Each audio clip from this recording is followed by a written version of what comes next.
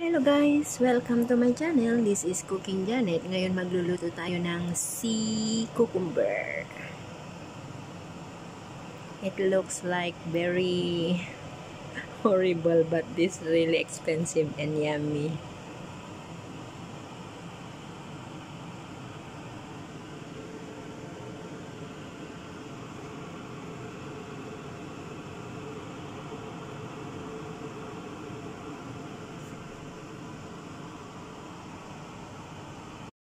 Now mga guys, i-start natin kung paano lutuin ang sea cucumber itong.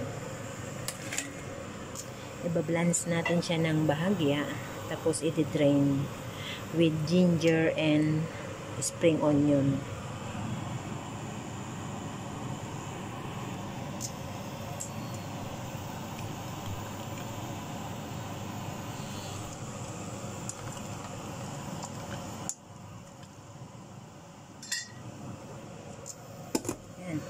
2 minutes is okay.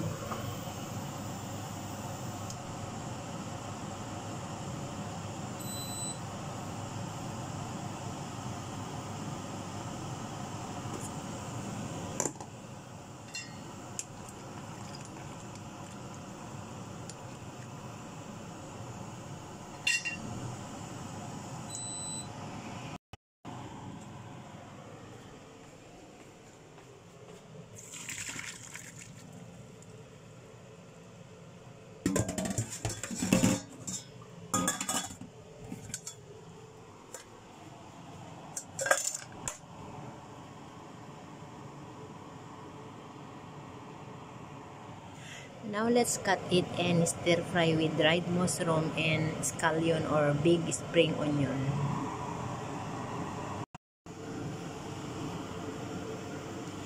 Now guys, we will start to cook our sea cucumber with dried mushroom and onion.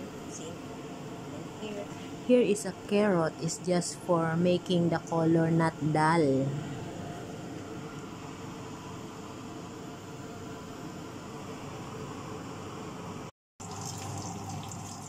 Guys, let us cook the cucumber.